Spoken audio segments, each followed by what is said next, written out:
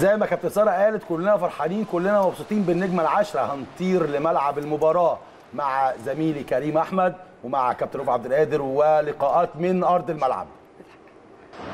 بجد تحية ليك يا كابتن خالد العوضي كل مشاهدينا ومتابعينا. كابتن رؤوف عبد القادر مدير عام النشاط الرياضي واحد من اللي سطروا التاريخ في بطولة كرة الطايرة. ده الثالثه دي يا كابتن رؤوف بالنسبة لك كمدير نشاط رياضي البطولة الثالثه كمدير نشاط رياضي للنادي الأهلي. ببارك لك بشكل عام أداء رائع وتنظيم رائع بطولات من دهب كالعادة يا كابتن رؤوف. هو ألف مبروك آه، لجماهير النادي الأهلي. آه، آه، ألف مبروك للاعبين وجهازهم ال- الفني. ومن خلال منبركم منبر النادي الأهلي أنا بعتذر لكل جماهير النادي على النتائج اللي حصلت في خلال الأسبوع اللي فات.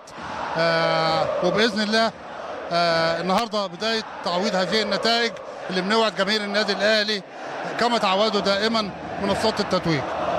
البنات كانوا على يمكن قلب رجل واحد كالعادة. شخصية النادي الأهلي بانت لأن فريق قرطاج فريق مميز جدا وعنده خبرات كبيرة جدا. بتشوف الإصرار النهارده إزاي يا كابتن رؤوف؟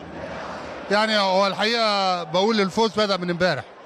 يعني أول امبارح آه، ال semi final مع فريق الأنابيب الكيني مباراة قوية. وأعتقد دي اللي كانت الن- النهائي المبكر.